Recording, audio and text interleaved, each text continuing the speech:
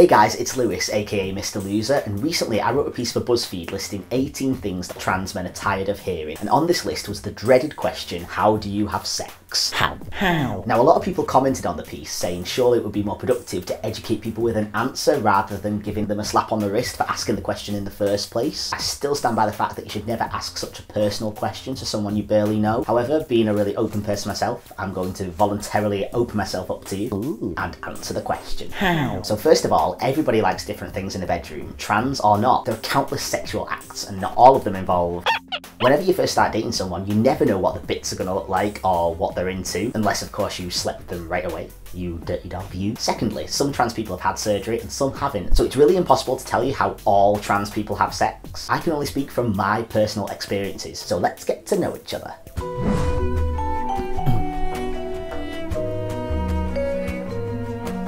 So, um, do you want to see my dragon?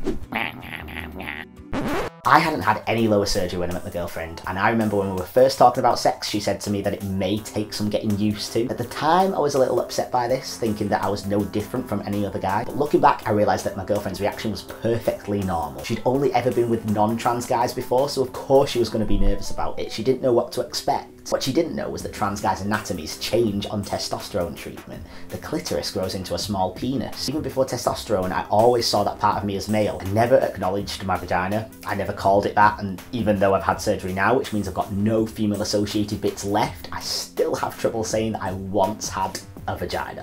it's important to note that some trans guys are really comfortable with that part of them and they use it and they enjoy it. Personally, I could never do that and I know a lot of trans guys who feel the same way I do, but again, everyone is different. But anyways, back to me. Even though I wasn't big enough down there to I could still do lots of other stuff the same way that non-trans guys could do. After our first time, my girlfriend was amazed by how natural it felt. Since then, I've had a type of lower surgery called the metoidioplasty, which works with what is already down below. And even though it's not the biggest, it looks totally natural. You'd never know that I wasn't born with it. Now sex is even better with me and my girlfriend, mainly because I'm more comfortable with myself. But in all honesty, it hasn't made a massive difference to our sex life because even before the surgery, I was still a guy with genitals that resembled a guy's. I know that not every person on the earth would feel comfortable getting with a trans guy or a trans girl, but I like to have faith that when you do really like someone, you look past their physicality. I hope this video has helped you understand sex with or as a trans guy, and if you have any further questions, please comment below and I will reply to you in a comment or make a new video. Thank you for watching and don't forget to like and subscribe if you're feeling extra kind.